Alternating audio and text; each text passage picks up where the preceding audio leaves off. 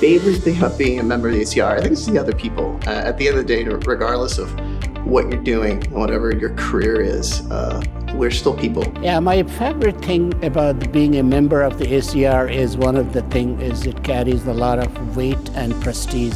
The people, the ab absolutely phenomenal people that you meet being a part of the ACR be alongside the policymakers for my profession. Uh, I can advocate for my peers and, and, be part of the decision making.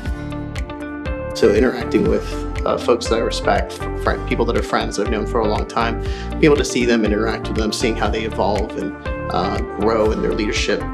It's that networking and that interactions and then the ability to connect with government legislature to in, potentially impact policy.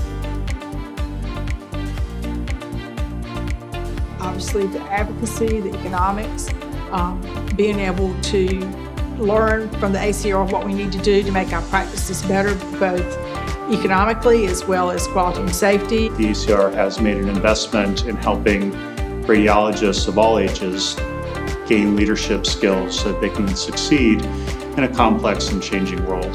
I'm a part of an organization that is really supporting radiologists as physicians and really interested in caring for patients. I believe your support of ACR will be the best return on investment that you'll ever receive.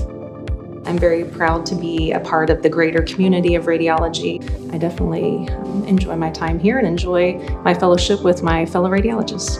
Every radiologist has a responsibility to pay it forward and to give back to a specialty that has been so wonderful to all of them.